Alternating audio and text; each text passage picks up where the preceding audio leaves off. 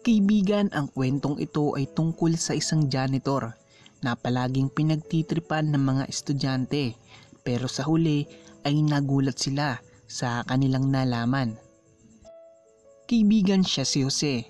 Siya ay 37 taong gulang at nagtatrabaho siya bilang isang janitor sa isang paaralan. Siya ay 10 taon nang nagtatrabaho bilang isang janitor Isang araw ay bigla na lang siyang tinanggal sa paaralang kanyang pinagtatrabahuan sa di malamang dahilan. Kaya naman ay nagganap siya ng kanyang malilipatan. Marami-rami ding paaralan ang kanyang napuntahan pero walang gustong kumuha sa kanya bilang isang janitor.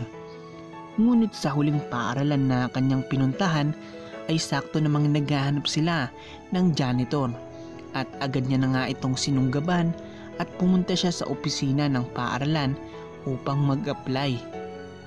Sinabi dito kung ano-ano ang kailangan niyang ipasa ng mga requirements. Matapos noon ay umuwi siya sa kanila para ihanda ang mga ito. Kinabukasan ay pumunta siya ng maaga sa paaralan na iyon at ipinasa ang requirements. Matapos niya ito maipasa ay umuwi na ito at sinabihan siya na tatawagan na lamang siya kung siya ay magsisimula na. Makalipas ang ilang mga araw ay may natanggap na natawag si Jose. Noong una ay hindi niya alam kung sino ito pero nang kanya itong masagot at makausap ay nalaman niya na mula pala ito sa paaralan na kanyang inaplayan bilang janitor. Sinabi nito na tanggap na siya sa trabaho at maaari na siyang makapagsimula kinabukasan. Tuwang-tuwa naman si Jose dahil sa wakas ay magkakatrabaho na siya ulit. Kinabukasan ay maagang pumasok sa trabaho si Jose. Pagkarating niya sa eskwelahan ay itinuro naman sa kanya ang mga lugar na kanyang dapat linisin. Matapos noon ay nagsimula na nga siya sa kanyang trabaho at nagsimula na siyang maglinis. At nung oras na uwian na ng mga estudyante ay sinimulan na niyang linisin ang CR at napansin niya na may mga iilang kiss marks sa salamin sa loob ng CR. Agad naman niya itong nilinis upang makauwi na din siya ng maaga. Kinabukasan ay pumasok ulit siya ng maaga sa trabaho at agad niyang sinimulan ang kanyang paglilinis. Nilinis niya ng mabuti ang mga lugar na nai-assign sa kanya at napapansin ng mga ibang nagtatrabaho doon na napakasipag ni Jose. Hindi niya inaaksaya ang oras niya at kapag may bakante siyang oras iginagawa niya ang mga ito para hindi matambakan ng trabaho. Lumipas ang ilang araw ay napansin nito na may iilan na mga estudyante ang pinagtitripan siya. Minsan ay pinagtatawanan siya ng mga ito at kung minsan naman ay pasadyang hindi nila inaayos ang pagtapon ng kanilang mga basura. At sa araw-araw na pagpasok niya dito ay napapansin ni Jose na tila ay parami ng parami ang mga kiss marks na nakadikit sa salamin. Noong una ay kakaunti pa lamang iyon pero sa ngayon ay lubhang napakarami na. Hirap na hirap na siyang tanggalin at linisin ito dahil sobrang makapit ang lipstick sa salamin. Nang umabot na si Jose ng isang buwan sa pagtatrabaho ay napag-isipan ni Jose na ipaalam sa prinsipal ng paaralan ay yun ang ginagawa ng mga estudyante sa kanya. Naintindihan naman ito ng prinsipal at kinabukasan ay agad siyang nagbigay ng anunsyo na kung sino man ang mahuhuling maglalagay ng kiss mark sa salamin ay ipapatawag ang kanilang mga magulang.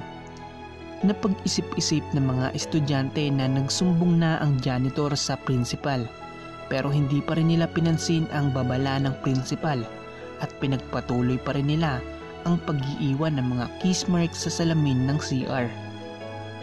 At dahil doon ay walang magawa si Jose kundi ang linisin ito dahil trabaho niya ito. Pero lubang napakahirap nga tanggalin ang mga kiss marks na ito dahil inaabot siya ng mga ilang oras para malinis ang lahat ng mga salamin. Lumipas pa ang ilang mga linggo at ganun pa rin ang ginagawa ng mga estudyante. Nagiiwan pa rin sila ng mga kiss marks sa salamin. Kaya nag-isip si Jose ng isang ideya kung papaano niya mapapatigil ang mga estudyante na gawin ito. Nang makaisip na ito ng isang ideya ay agad niyang pinuntahan ang principal upang kanyang masabi ang kanyang naisip na ideya. Napag-isip-isip naman ng principal na maganda ang naisip ni Jose kaya agad naman itong pumayag sa gustong gawin ni Jose. Nang matapos ang dalawa sa kanilang pag-uusap ay agad namang pinuntahan ng principal ang nasabing grupo ng mga estudyante na palaging nantitrip kay Jose at sinabihan niya ang mga ito na lahat sila ay dapat magpunta sa CR ngayon. Walang kaalam-alam ang mga estudyante kung bakit sila pinapapunta doon pero kahit na ganun ay sumunod na lamang sila. Nang makarating na ang lahat ay pumasok sa loob ng CR si Jose at nakita niya na mayroon agad na kiss mark ang kakalinis pa lamang niya na salamin. Pumunta siya sa harapan ng salamin at sinabihan ang mga estudyante tungkol sa mga kiss marks. Ipinakita nito kung paano niya linisin ang mga kiss marks sa salamin. Noong una ay isang basahan ang kinuha ni Jose at binasa niya ito ng tubig na may sabon at ito ang kanyang pinunas upang matanggal ang isang kiss mark sa salamin. At sinabi niya sa harap ng mga estudyante na ganyan siya maglinis ng kiss mark. Pero kapag napakarami na nito ay iba na ang paraan na kanyang ginagawa. Nagtaka naman ang mga estudyante kung ano ang ibig sabihin ni Jose. Iniisip nila kung ano kaya ang iba pang paraan para malinis iyon. Kaya maya maya pa ay naglakad si Jose at kinuha niya ang isang map. Ipinakita niya sa lahat na nilublob niya ito sa tubig na nasa toilet bowl at ito ang kanyang ginamit upang matanggal ang mga kiss marks na natira sa salamin. Gulat na gulat ang lahat dahil hindi nila alam na ganoon pala ang ginagawa ng janitor sa salamin. Ang ilan ay umaarte na parang nasusuka sila nang makita nila ito. Diring-diri sila ng kanilang malaman na ang tubig pala na pinanglilinis sa salamin ng CR ay galing sa toilet bowl. Kaya nga matapos ang araw na iyon ay wala nang kahit isang kiss marks ang naiiwan sa salamin ng CR ng paaralan. At ikinatuwa naman yon ng janitor na si Jose. Kaibigan bago natin tapusin ang bidyong to ay shoutout muna kila John Paul Agarano, Jenny Lou Elisorio, Margaret Jobs at Rex San Sebastian. Maraming maraming salamat sa panonood kaibigan at maraming maraming salamat po sa inyong suporta. Hanggang sa susunod nating mga videos, paalam.